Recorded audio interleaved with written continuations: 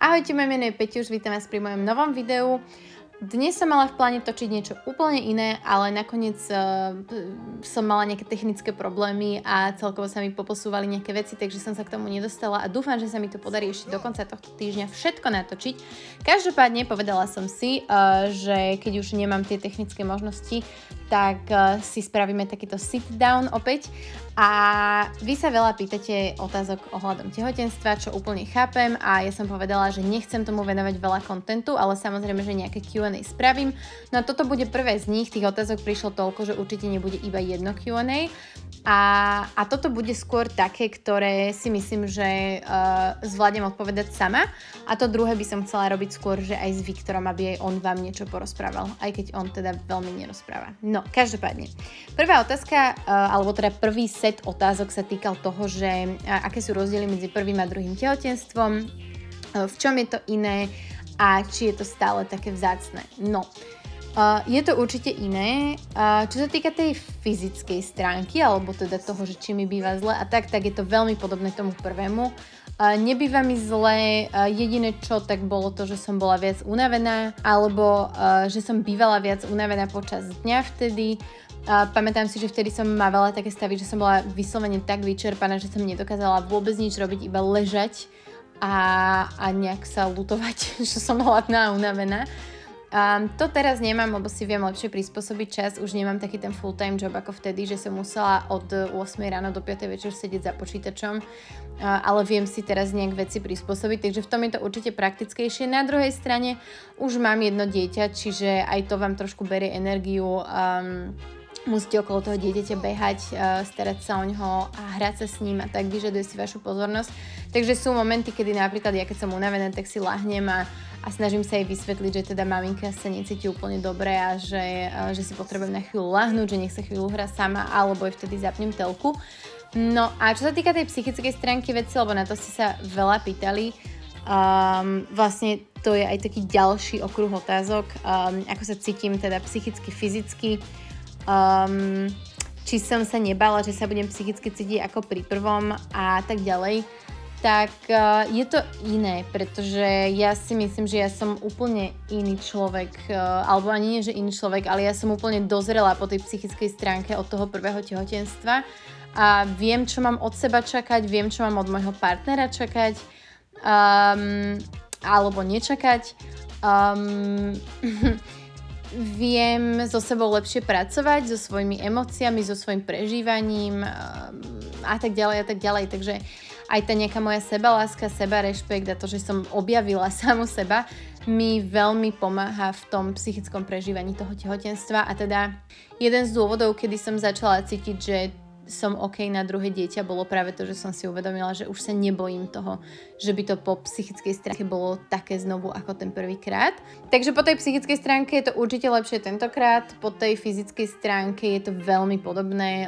Nezvracia vám, ani som nezvracala um, nebýva mi nejako fyzicky zle a tak. Jediné, čo teraz je také, že ma tak zarazilo, sú bolesti hlavy, čo som teda prvýkrát nemávala. To bolo uh, napriek tomu, že som mávala pravidelne bolesti hlavy, tak počas toho te- te- tehotenstva mi úplne zmizli. Um, takže to. No a tentokrát mám, mám väčší nedostatok železa. Prvýkrát po, pri prvom tehotenstve som, e, e, čo sa týka železa, nemala nedostatok vôbec. Až nejaké posledné dva mesiace som dostala, že polku tabletky na deň a tentokrát už teraz beriem tabletky so železom, takže, takže to sú také jediné rozdiely. No a rovno, e, keď už som pri tom železe, tak rovno sa vyjadrím aj k otázke ohľadom tých vitamínov. Neberiem žiadne špeciálne vitamíny okrem toho železa a teda ako hovorím, prvýkrát som nebrala ani to, takže vôbec by som sa nebala toho, že kvôli vegetariánstvu uh, treba nejak špeciálne doplňať viac vitamínov alebo také niečo, to vôbec nie. Uh, ja beriem tie isté vitamíny, čo som brala pred tehotenstvom, čiže vitamín C, B-komplex a D-vitamín a úplne odhľadnúť od tehotenstva. No a ešte teda to železo sa k tomu pridalo. A pokiaľ máš vyváženú stravu a nemáš príliš veľa stresu a staráš sa proste o to svoje telo a o tú svoju stravu, tak vôbec by som sa nebala toho, že budeš musieť nejako strašne veľa vitamínov brať, alebo že by to dieťa nemalo z teba dosť živín.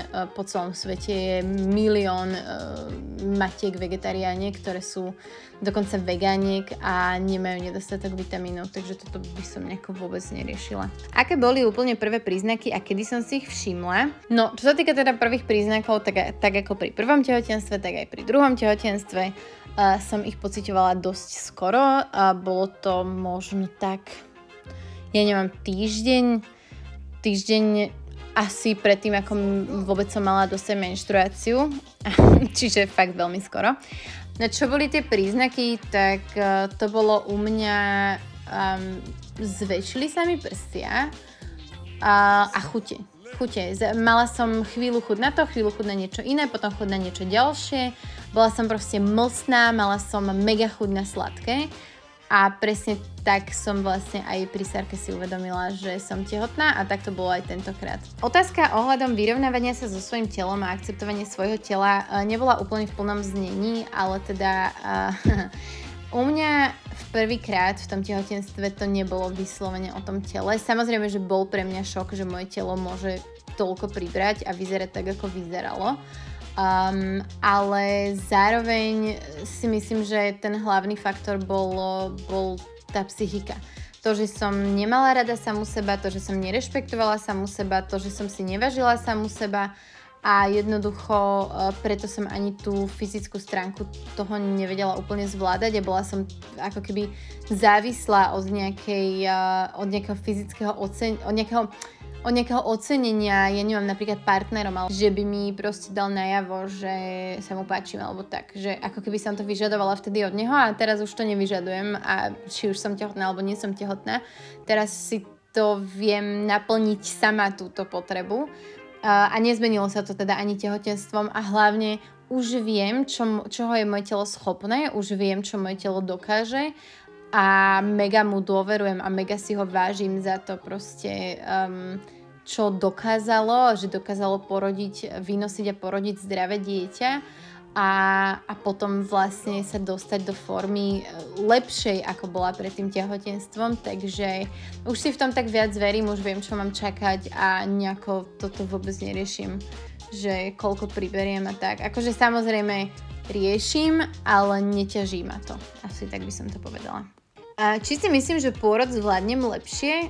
Uh, ja si myslím, že ja som pôrod zvládla celkom dobre, ale áno, určite si myslím, že to tentokrát bude ľahšie. Viem, čo mám čakať, Viem, kde som naposledy spravila chybu, takže som si vlastne sama kladla trošku polienka pod nohy a teším sa na to. Ale to som sa tešila aj prvýkrát vlastne, takže, takže asi áno, aj keď ja si myslím, že aj ten môj prvý pôrod bol mm, celkom dobrý v porovnaní s tým, aké som počula, že mali rôzni ľudia uh, svoje pôrody. Dula áno alebo nie? No, čo sa týka duly pri pôrode, tak e, pre mňa je dôležitejší partner pri pôrode ako dula pri pôrode a celkovo sa mi páči, že to je taký náš intimný moment medzi nami. Ale už som sa nakontaktovala na dulu Nicole, s ktorou e, chcem prebrať to, kde budem rodiť a chcem s ňou prebrať aj nejaké veci ohľadom toho pôrodu ako takého, pretože ten, ja som aj prvýkrát rozmýšľala veľmi silno nad dulou, dokonca som jednej, jednej alebo dvom aj písala a nejak som sa nedopracovala teda k tomu, že by ku mne aj nejaká prišla a že by mi dala nejaké sessions. Takže to som bola taká, že ok, tak kašľa na to. Ale tým, že Nikol som spoznala, vďaka tomu, že sme spolu robili už rozhovor a plánujem s ňou točiť aj podcast, tak som sa obratila na ňu. Veľmi sa stotožňujem s jej názormi, s jej postojmi a s tým, za čo stojí a za, za čím stojí a za čo bojuje. Takže určite, určite uh, plánujem nejaké, nejakú, neviem, či by som to nazvala, že príprava na porod, ale skôr uh, predebatovať také tie moje potreby a to, čo chcem s niekým, kto sa v tom proste vyzná a kto mi bude vedieť poradiť aj ohľadom toho, či si mám robiť pôrodný plán, aký pôrodný plán a kde vlastne, um, kde vlastne budem rodiť.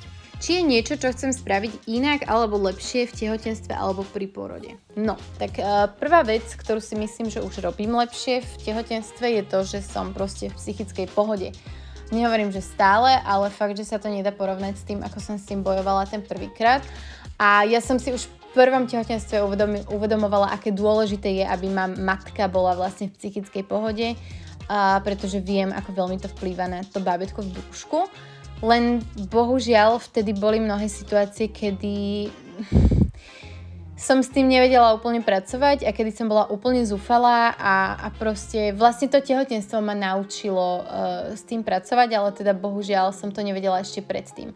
Takže, takže toto už určite robím inak a robím lepšie a myslím si, že aj eh, preto mám možno také pohodovejšie to, to tehotenstvo trošku v tom ohľade a neviem, nebudem si už kupovať toľko harabúr zbytočných tehotenských, lebo sú jednak ohavné a jednak som ich aj tak nenosila. Určite viac komunikujem s partnerom, a to by som poradila každej tehotnej žene, že ak niečo potrebujete od toho partnera, alebo vyžadujete, alebo máte nejakú predstavu, tak uh, ju s ním odkomunikujte a nečakajte, že pre neho to bude samozrejme, lebo ja som pri veľa veciach prvýkrát čakala, že to bude proste samozrejme pre neho, tak ako pre mňa a hrozne ma vyhodilo, vyviedlo, vyviedlo, hrozne ma vyviedlo z miery, že uh, on to nebral ako samozrejmosť a tak vznikalo veľa našich konfliktov, takže určite komunikovať s partnerom. No a to isté vlastne aj pri porode. Um, asi si napíšem nejaký pôrodný plán. Určite budem vedieť byť asertívnejšia tentokrát, lebo už viem, čo ma čaká, viem, čo Viem, čo mi je príjemné a nie je príjemné, napríklad to, že mi pri porode nabehlo asi 10 ľudí do tej malej miestnosti a pozerali sa na to, ako tlačím, tak to mi prišlo úplne od veci a doteraz neviem vlastne, kto tí ľudia boli, takže takéto veci by som určite e, druhýkrát už neakceptovala. A, a celkovo akože uh, by som si prijala takú väčšiu pohodu pri tom pôrode. Posledná otázka uh, v tejto sekcii, že či cvičím. Nie, necvičím, veľmi rada by som chcela začať, ale už odmietam chodiť na nejaké cvičenia mimo domu, uh, pretože som rada, keď mám čas si proste porobiť robotu. Neviem si predstaviť, že by som obetovala ešte nejaký čas chodiť na nejaké skupinové cvičenia s inými mamičkami. Um, celkovo nie som veľmi spoločenský človek. Jediné, čo rozmýšľam, že by som začala chodiť na um, one-on-one uh, fyzioterapiu pre tehotné lebo ako som spomínala, mávam tie bolesti hlavy a, a ono to pramení vlastne z chrbtice, a takže, takže nad tým rozmýšľam. Ale nie, zatiaľ necvičím a chcela by som začať tak raz, dvakrát do týždňa cvičiť e, aspoň doma večer.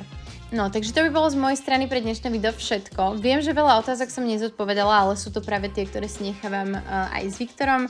Napríklad, kedy mám termín, či vieme a povieme pohlavie, meno, či to bolo plánované, aké boli reakcie, ako sme to zistili, ako som to oznámila a tak ďalej tak ďalej. Také tie praktickejšie veci, alebo ako to nazvať. Takže na to si odpovieme na budúce. Dúfam, že sa vám video páčilo a prajem vám ešte pekný zvyšok dňa, večera.